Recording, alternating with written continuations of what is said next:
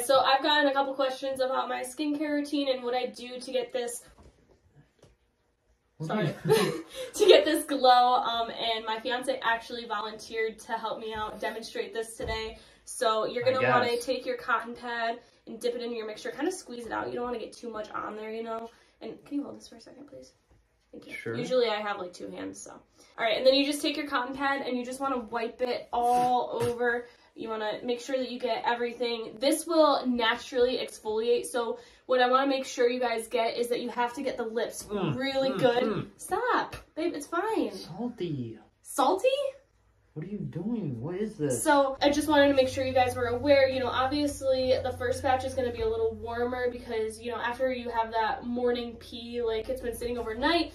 So it's going to be warmer. What? Did you just say pee? Yeah. It's a it's a known thing. What are you doing?